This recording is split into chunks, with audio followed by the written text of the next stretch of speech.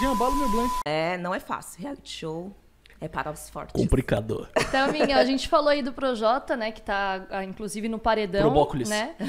E é, eu quero saber agora de uma outra pessoa que está emparedada também, se você levaria ou não para o quarto do líder, que é Lumena. Já Ai. imagino. Ai. Então, eu acho que ela seria a mesma história. Acho que num, no início de programa eu teria me aproximado dela pela identificação. Eu acho que ela é uma menina super inteligente. Só não tá sabendo expor, colocar o di- discurso dela nos momentos certos, né? Porque acho que quando você busca, você chega com uma ação, você quer uma reação da pessoa, mas você quer uma reação positiva. Né? Eu acho que quando você milita, você quer uma atitude bacana em relação àquilo. E da forma como ela chegou, ela mesma agora está reconhecendo isso, né? Que ela foi muito explosiva. É, ontem ela até falou de acordo com a história de vida dela. Só que essa energia, acho que ela tinha que ter controlado um pouquinho mais lá atrás, né? Quando aconteceu, co- aconteceram coisas com o Lucas, até mesmo com as meninas brancas mesmo. Eu acho que você busca uma atitude antirracista, mas você tem que entendeu? Saber se colocar ali para você não perder a razão, né? Que Exato. foi o que aconteceu com eles, é, não só com ela, mas com outras pessoas também é, nessa edição. Então, acho que eu teria conversado com ela também, mas se eu olhasse algumas atitudes que ela teve que eu não concordo, acho que eu teria me afastado. Então, nesse momento, eu acho que eu já não estaria mais tão do lado dela. Não dá para saber, né? Só estando lá dentro. Às vezes, por identificação, a gente até. É o que eu falo, eu sou muito leal às minhas amizades. Então, se eu fico ali com a pessoa, a pessoa tem que me machucar bastante para eu virar as costas. Então, não sei, nessa altura do campeonato, mas acho que ela não estaria no meu líder, não.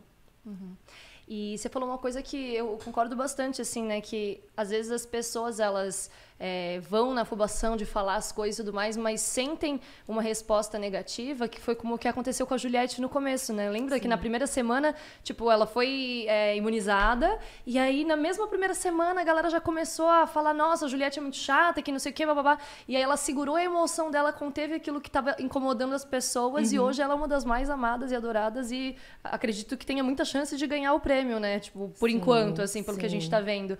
E acredito que essas pessoas também, como Lumena e Carol e outras pessoas, é, poderiam também ter pegado esse toque, assim, do que estava incomodando as pessoas e segurar um pouco, mas elas parece que não, não, não seguram essa emoção, né?